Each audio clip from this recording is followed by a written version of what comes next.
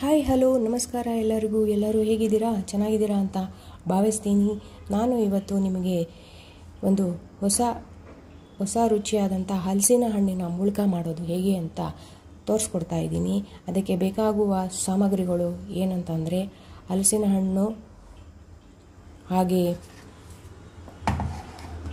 ದೋಸೆ ಅಕ್ಕಿ, ಅದರ ಜೊತೆಗೆ ಸ್ವಲ್ಪ ಕೊಬ್ಬರಿ, ಸ್ವಲ್ಪ ಬೆಲ್ಲ ಹಾಗೂ ಸ್ವಲ್ಪ ಉಪ್ಪು ರುಚಿಗೆ ತಕ್ಕಷ್ಟು ಮೂರು ಏಲಕ್ಕಿನ ತಗೊಂಡಿದ್ದೀನಿ. ಬನ್ನಿ, ಮೊದಲು ನಾವು ಅಕ್ಕಿನ ರುಬ್ಕೊಂಡು ಬರೋಣ ಮೀಡಿಯಮ್ ಆಗಿ.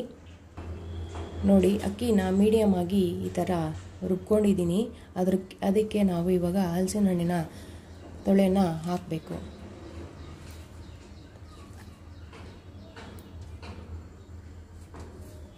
ಎರಡು ಚಮಚ ಆಗೋಷ್ಟು ನೀರು ಹಾಕಿದರೆ ಸಾಕು, ಅಕ್ಕಿ ರುಬ್ಬುವಾಗ. ಯಾಕಂತಂದರೆ ಫುಲ್ಲು ಗಟ್ಟಿಯಾಗಿ ಅಕ್ಕಿ ರುಬ್ಬಕ್ಕಾಗಲ್ಲ. ಆದ್ದರಿಂದ ಎರಡೇ ಚಮಚದಾಗೋಷ್ಟು ಅಕ್ಕಿನ, ಅಕ್ಕಿಗೆ ಅಕ್ಕಿಗೆ ನೀರನ್ನು ಹಾಕಬೇಕು. ಅದರ ಜೊತೆಗೆ ತುರಿದಿಟ್ಕೊಂಡಿರೋಂತಹ ಕೊಬ್ಬರಿನೂ ಸಹ ಸೇರಿಸ್ತಾ ಇದ್ದೀನಿ. ಕೊಬ್ಬರಿ ಹಾಗೂ ಬೆಲ್ಲ ಎಲ್ಲನೂ ಅದರ ಜೊತೆಗೆ ಏಲಕ್ಕಿ ಎಲ್ಲನೂ ಮಿಕ್ಸಿ ಜಾರ್ಗೆ ಹಾಕ್ಕೊಂಡು ರುಚಿಗೆ ತಕ್ಕಷ್ಟು ಉಪ್ಪು ಜಾಸ್ತಿ ಹಾಕೊಳ್ಳೋಕೆ ಹೋಗಬೇಡಿ. ಬೆಲ್ಲದಲ್ಲೂ ಉಪ್ಪಿರೋದ್ರಿಂದ ಜಾಸ್ತಿ ಆಗಿಬಿಡುತ್ತೆ. ಬನ್ನಿ, ಇದನ್ನು ನೈಸಾಗಿ ರುಬ್ಕೊಂಬಿಡೋಣ ನೋಡಿ ಸ್ನೇಹಿತರೆ, ಇಷ್ಟು ಗಟ್ಟಿಯಾಗಿರಬೇಕು. ಅದಕ್ಕೆ ಜಾಸ್ತಿ ನೀರು ಹಾಕೋಕ್ಕೆ ಹೋಗ್ಬಾರ್ದು, ಯಾಕಂದರೆ ಹಲಸಿನ ಹಣ್ಣಾಗಿರೋದ್ರಿಂದ ಅದರಲ್ಲೂ ನೀರಿನ ಅಂಶ ಇರುತ್ತೆ. ಸೊ ಇಷ್ಟು ಗಟ್ಟಿಯಾದರೆ ಸಾಕು, ಬೋಂಡ ಮಾಡೋ ಅದಕ್ಕೆ ಬಂದರೆ ಸಾಕಾಗುತ್ತೆ. ನೋಡಿ, ಹಿಂಗೆ ಇಟ್ಕೊಂಡ್ರೆ ಹಿಂಗೆ ಬಿಡೋ ಹಾಗಿರಬೇಕು. ನೋಡಿ, ಈ ಥರ ತೋರಿಸ್ತೀನಿ ನೋಡಿ ಸರಿಯಾಗಿ. ಈ ಥರ ಇಟ್ಕೊಂಡ್ರೆ ಈ ಥರ ಎಣ್ಣೆಗೆ ಬಿಡೋ ಹಾಗಿರಬೇಕು. ಆವಾಗ ತುಂಬ ಚೆನ್ನಾಗಿರುತ್ತೆ. ಘಮ ಘಮ ಅಂತ ಇದೆ. ನೋಡಿ ಇವಾಗ ಹಲಸಿನ ಹಣ್ಣಿನ ಮುಳ್ಕ ಮಾಡೋದಕ್ಕೆ ಎಣ್ಣೆ ಕಾಯಕ್ಕೆ ಇಟ್ಟಿದ್ದೀನಿ. ಎಣ್ಣೆ ಬಿಸಿಯಾದ ತಕ್ಷಣ ಮುಳ್ಕಾನ ಮಾಡೋಕ್ಕೆ ಶುರು ಮಾಡೋಣ ಸ್ನೇಹಿತರೆ. ನೀವು ಇದರ ಜೊತೆಗೆ ಎಂಜಾಯ್ ಮಾಡಿ ಹಾಗೂ ಈ ಒಂದು ಹೊಸ ರುಚಿ ಹೇಗಿದೆ ಅಂತ ಒಂದು ಕಮೆಂಟ್ ಮಾಡಿ ನನಗೆ ತಿಳಿಸಿ. ನೋಡಿ, ಇವಾಗ ಎಣ್ಣೆ ಬಿಸಿ ಆಗ್ತಾ ಬಂತು. ಇವಾಗ ನಾವು ಮಾಡಿಟ್ಟಿರುವಂಥ ಹಲಸಿನ ಹಣ್ಣಿನ ಮಂದವನ್ನು ಹಾಕೋಣ. ನೋಡಿ, ಈ ಥರ ಬಿಡಬೇಕು. ಹಲಸಿನ ಹಣ್ಣು ಅಂದರೆ ಯಾರಿಗೆ ಇಷ್ಟ ಇರೋಲ್ಲ ಸ್ನೇಹಿತರೆ. ಹಂಡ್ರೆಡ್ ಮೀಟ್ರ್ ದೂರ ಹೋಗ್ತಾ ಇದ್ರು ಹಲಸಿನ ಹಣ್ಣಿನ ಸ್ಮೆಲ್ ನೋಡಿ, ಆಹಾ ಹಲಸಿನ ಹಣ್ಣಿನ ಸ್ಮೆಲ್ ಬರ್ತಾ ಇದೆ ಅಂತ ಅಂದ್ಕೊತೀವಿ ನೋಡಿ, ಈ ಥರ ಒಂದೊಂದಾಗೆ ಬಿಡ್ತಾ ಬರಬೇಕು.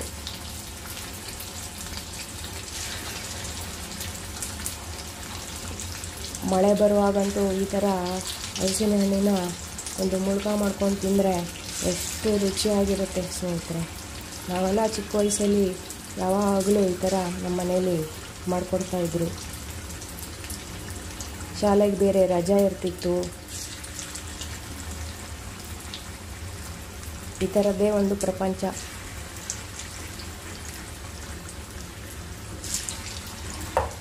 ನೋಡಿ ಸ್ನೇಹಿತರೆ, ಇದು ಇನ್ನು ಒಂದು ಎರಡು ನಿಮಿಷಗಳ ಕಾಲ ಇದನ್ನ ನಾವು ಮೀಡಿಯಮ್ ಉರಿಲಿ ಇಟ್ಕೊಂಡು ಬೇಯಿಸಬೇಕು. ಯಾಕಂದರೆ ನಾವು ದಪ್ಪವಾಗಿ ಬಿಟ್ಟಿರ್ತೀವಲ್ಲ, ಅದು ಒಳಗಡೆಯಿಂದೆಲ್ಲ ಬೇಯಬೇಕಾಗುತ್ತೆ. ಆದ್ದರಿಂದ ನಾವು ಎರಡು ನಿಮಿಷ ಆದರೂ ಬೇಯಿಸಬೇಕಾಗುತ್ತೆ ಟರ್ನ್ ಮಾಡಿಕೊಂಡು. ಸಡನ್ಲಿ ಅದನ್ನು ನಾವು ಟರ್ನ್ ಮಾಡೋಕ್ಕೆ ಹೋಗಬಾರ್ದು. ಯಾಕಂತಂದರೆ ಅದು ಸ್ವಲ್ಪ ಸೌಟ್ಗೆಲ್ಲ ಅಂಟುಬಿಡುತ್ತೆ ಆದ್ದರಿಂದ ಸಡನ್ಲಿ ನಾವು ಇದು ಮಾಡೋಕ್ಕೆ ಹೋಗಬಾರ್ದು. ಸೌಟ್ಗೆ ಸ್ವಲ್ಪ ಎಣ್ಣೆ ಎಲ್ಲ ನೆಕ್ಕೊಂಡ್ಬಿಟ್ಟು ಈ ಥರ ಟರ್ನ್ ಮಾಡಿದ್ರೆ ಆಹಾ, ಎಷ್ಟು ಚೆನ್ನಾಗಿ ಕಾಣಿಸ್ತಾ ಇದೆ ನೋಡಿ, ಎಷ್ಟು ಚೆನ್ನಾಗಿ ಉಬ್ಬು ಬಂದಿದೆ. ನಾವು ಇದಕ್ಕೇನು ಯೂಸ್ ಮಾಡಿಲ್ಲ. ಸೋಡಾನೂ ಯೂಸ್ ಮಾಡಿಲ್ಲ. ಅಲ್ಲ ಸ್ನೇಹಿತರೆ, ನೀವು ಮನೆಯಲ್ಲಿ ಹಲಸಿನ ಹಣ್ಣು ಸಿಕ್ಕಿದ್ರೆ ಈ ಥರ ಮಾಡ್ಕೊಂಡು ತಿನ್ನಿ. ತುಂಬ ಚೆನ್ನಾಗಿರುತ್ತೆ. ಏನಿಲ್ಲ, ಸುಲಭವಾದ ವಿಧಾನ. ಮನೆಯಲ್ಲಿ ಎಲ್ಲರೂ ಇಷ್ಟಪಡ್ತಾರೆ.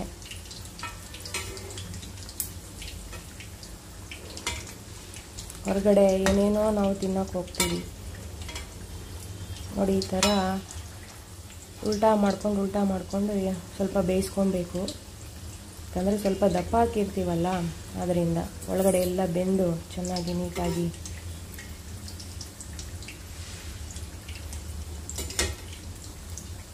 ಎಲ್ಲನೂ ಥರ ಮಗ್ಚಿ ಒಂದು ಸೈಡಿಂದ ಇನ್ನೊಂದು ಸೈಡ್ ಮಗ್ಚಿ ಹಾಕ್ಕೊಬೇಕು. ಟೋಟಲ್ ಒಂದು ಎರಡು ನಿಮಿಷನಾದರೂ ಬೇಯಿಸ್ಕೋಬೇಕು ಚೆನ್ನಾಗಿ. ನೋಡಿ ಎಷ್ಟು ಚೆನ್ನಾಗಿ ಬಂದಿದೆ. ನೋಡಿ ಸ್ನೇಹಿತರೆ, ಈಗ ಎರಡು ನಿಮಿಷ ಆಗಿದೆ. ಕರೆಕ್ಟಾಗಿ ಬೆಂದಿದೆ ಇವಾಗ. ನೋಡಿ ಎಷ್ಟು ಚೆನ್ನಾಗಿ ಕಾಣಿಸ್ತಾ ಇದೆ ಅಂತಂದರೆ, ಆಹಾ, ಅದರ ವಾಸನೆ ಹೇಳ್ತಾ ಇದೆ ಎಷ್ಟು ಸ್ವಾದಿಷ್ಟವಾಗಿದೆ ಅಂತ. ನೀವು ಒಮ್ಮೆ ಆದರೂ ಇದನ್ನು ಟ್ರೈ ಮಾಡಲೇಬೇಕಾಗುತ್ತೆ ಮನೆಯಲ್ಲಿ. ಅಷ್ಟು ತುಂಬ ಚೆನ್ನಾಗಿರುತ್ತೆ. ಒಳಗಡೆ ಜ್ಯೂಸಿಯಾಗಿ ಗುಲಾಬ್ ಜಾಮೂನ್ ಥರ ತುಂಬ ಚೆನ್ನಾಗಿರುತ್ತೆ. ಮಕ್ಕಳು ತುಂಬ ಇಷ್ಟಪಟ್ಟು ತಿಂತಾರೆ ಇದನ್ನು. ನೋಡಿ ಸ್ನೇಹಿತರೆ. ಎಷ್ಟು ಚೆನ್ನಾಗಿ ಬಂದಿದೆ ಅಂತ.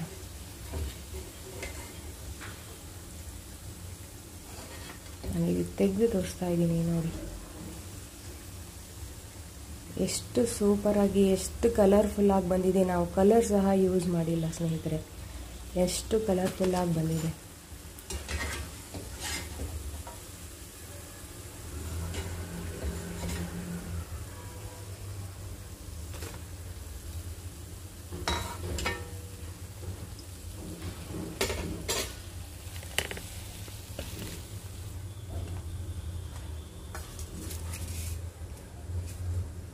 ನನ್ನ ಕಡೆಯಿಂದ ನಿಮಗೆ ಒಂದು ಸ್ಪೆಷಲ್ ಆದ ಸ್ವೀಟ್ ತಯಾರಾಗಿದೆ.